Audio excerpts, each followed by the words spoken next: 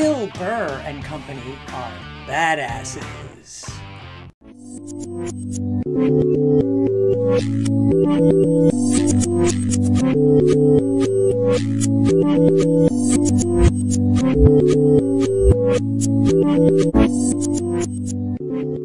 Greetings and welcome back to Here's What I Heard. I'm Laura DeGoddess, your hostess. Thank you for clicking on my little egg of the internet today. By now, just about everyone has seen either all or part of this. Bill Burr. Okay, thank you, Janae. How are you? Was I the only one who wanted to kill himself during that piano solo? Uh, I bought a suit for this. I thought I was going to be on TV. I'm such a moron. I am losing so much money right now. All right, shout out to all the rock stars that I wanted to meet tonight who are watching at home instead. I'm talking to you, Don Dokken. All right?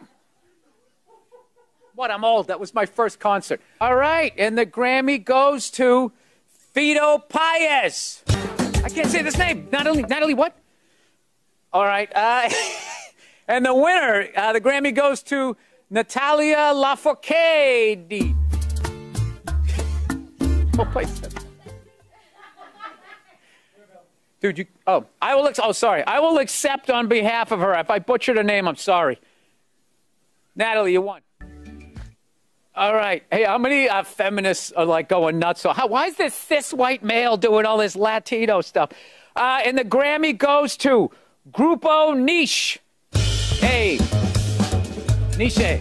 And the Grammy goes to Gustavo Dudamel, conducting the Los Angeles Philharmonic. I will be accepting the Grammy on behalf of Gustavo Dudamel. Congratulations. Crush that one.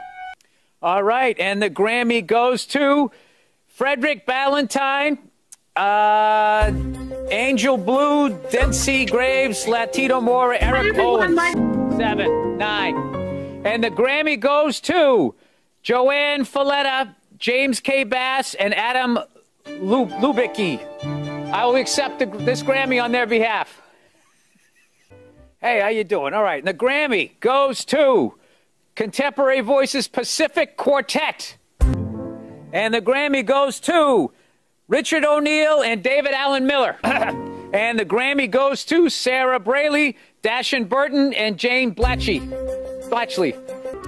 And the Grammy goes to Isabel Leonard, Michael Tilson Thomas, and Jack Vad. And the Grammy goes to Christopher Rouse. And the Grammy goes to Jojo Rabbit. Sorry, I wasn't listening to that one. I'm going to butcher this. And the Grammy goes to Hil- Hildur Gunadutar for Joker. And the Grammy goes to No Time to Die. I had absolutely no idea about the first comment because I didn't watch the Grammys.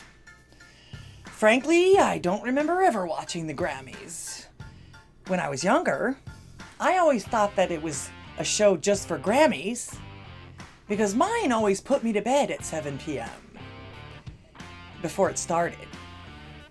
After that, cable came out and there was always much better stuff to watch. But uh, don't get me distracted. But Bill's comment on the woke bunch, as I'll put it, was priceless. All right. Hey, how many uh, feminists are like going nuts? So, how, why is this cis white male doing all this Latino stuff? But I actually found myself asking that same question. Uh, Not because he's a cis white male, but because it seemed to be way out of his character. I mean, come on. Look at his shows, look at his podcast, look at his appearances. He even admits himself that he always plays himself. Is it hard playing yourself as an actor?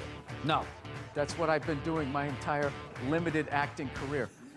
To me, it was almost as if they wanted him to fail or they set him up to fail so that their folks could ridicule him. He is pretty mainstream, but I'm sure the powers that be don't like that he's not beholden to their woke standards.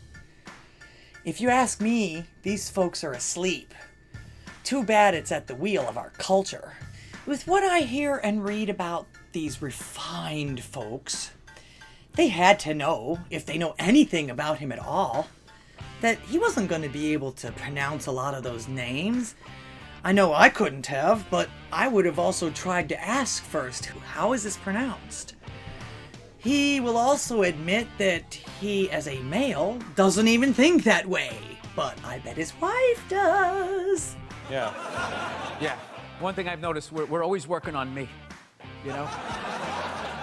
Like, my wife is evidently some completed work, like under museum glass. And I'm like that building that has scaffolding around it for like seven years. But, no, she is, she's a saint for putting up with me. I'm pretty sure that they also knew that he wouldn't even know who some of those folks even were. I mean, he was looking forward to meeting Dokken and all the rock and roll stars. Not that I knew them either, but don't get me distracted. From what you're hearing everywhere else now, you wouldn't even think that there was such prizes for such categories anymore. I mean, the bee lady pretty much took the show, and all the news outlets, and all the indie newsies, and all the gossip columns. Heck, this particular situation might even end up in the courts. Go Candio! And no, I'm not showing you anything from her musical, if you will. Remember my motto. Everybody gets one. So, as far as the number one rule in show business goes and entertainment, mission accomplished. By both parties, in fact. I'm by no means forgetting that Candio has a new show coming up as well, and it won't be free from what I can tell. But we are talking about Bill Burr here, so don't get me distracted. The Bill Burr portion of the show actually seemed like some kind of a side note by the same outlets that I just mentioned earlier, and only because the so called Twitter outrage crowd brought it to everyone's attention. In fact, it got so bad that blue checks were literally calling him an ist despite his being married and having kids with this lovely person. Who's that lady? Who's that lady? Beautiful lady. Now, this tweet about it, or about their relationship, if you will, literally says, I'm not saying this is you, but I am. Where Nia promptly replies, Which is right on. I've been saying this kind of thing needs to be said to these sensitive know it alls who literally have no clue since the beginning of this cancel culture started.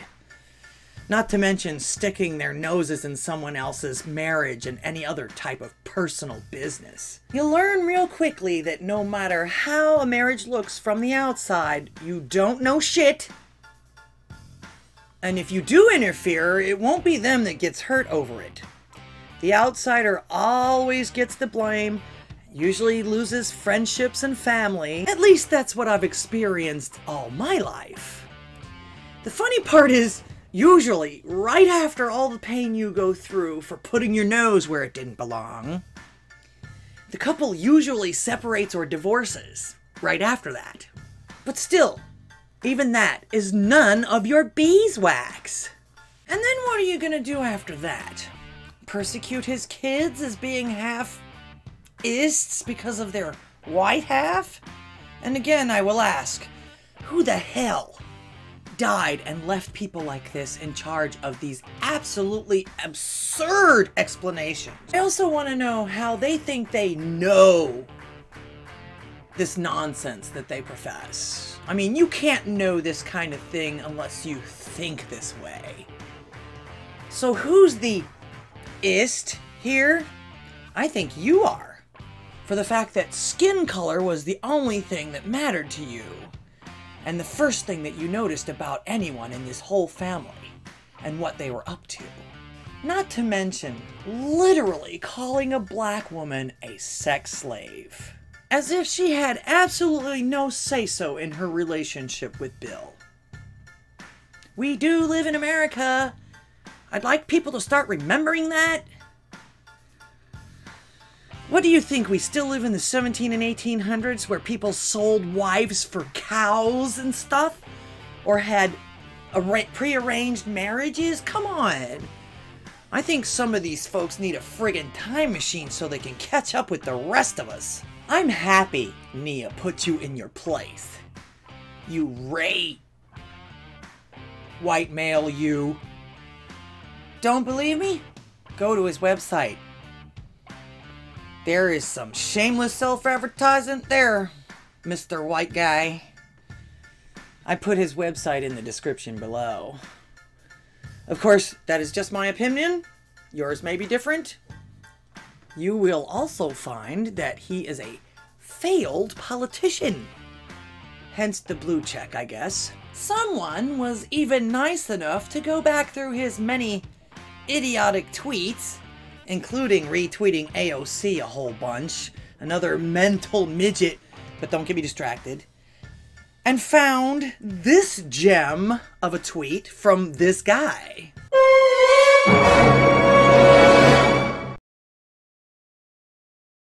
And from just scrolling through his tweets, I can tell that this gentleman, I use the term loosely, has a pretty new child, not even a year yet, it doesn't look like.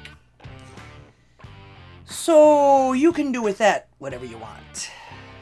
Also, this is another reason I wanted to do this video on this. Not only are the Burrs, the Burr slash Hills, a badass couple, but it's like Tom MacDonald said. Your thoughts and opinions ain't facts and they are not defining my reality. And I would venture to say that Nia Hill agrees. Anyway, I just wanted to give a shout out to Bill Burr and his beautiful family.